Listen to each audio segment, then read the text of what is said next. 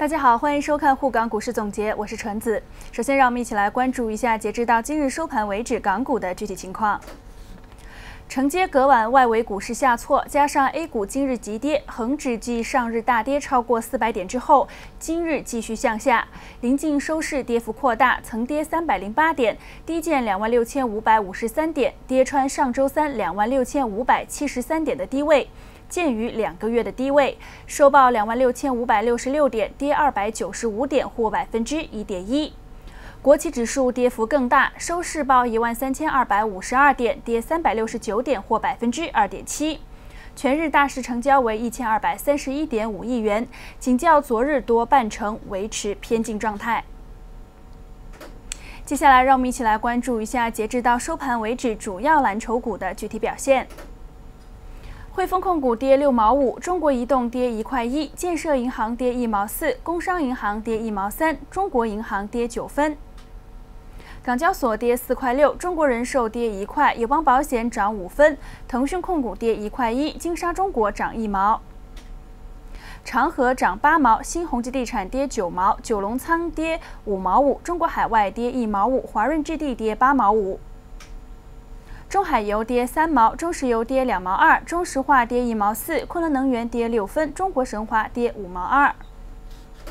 关注完了港股方面，我们再来看一下内地的股市方面。周二的早盘，沪指低开后跳水逾百分之一，盘中失守五千点后探底回升，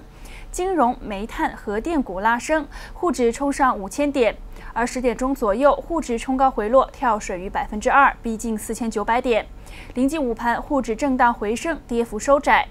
午后开盘，沪指震荡走低，盘中再度跳水，权重股受挫，题材股全线暴跌，沪指跌近百分之四，失守四千九百点。临近尾盘，小幅回升。在成交量方面，沪市成交为八千九百五十四点二一亿元，深市成交为八千零五十三点七七亿元，两市共同成交为一万七千零七点九八亿元。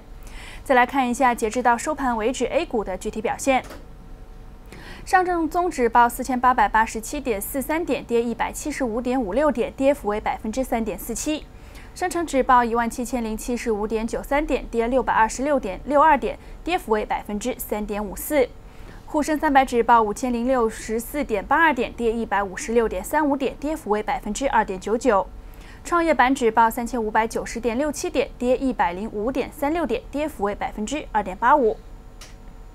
再来关注 H 股对 A 股的五大折让情况：山东墨龙折让百分之七十六，洛阳玻璃折让百分之七十五，中海集运折让百分之七十五，金城机电折让百分之七十四，上海电气折让百分之七十三。再来看 H 股对 A 股的五大溢价情况：万科企业溢价百分之六，福耀玻璃溢价百分之五，中国平安溢价负的百分之零点一。工商银行溢价负的百分之四，招商银行溢价负的百分之五。关注完了股市方面，我们再来回顾一下今天的主要财经资讯。据外电报道，深港通开通的日期将压后宣布。由于监管层在部分规则上未能达成共识，加上存在技术问题，内地将压后宣布深港通的开通日期，将令原本计划年底前开通的深港通出现变量。报道又指出，若宣布时间压后至八月以后，或令开通时间推迟至明年。按照港交所原本计划，深港通会在上半年公布，下半年正式开通。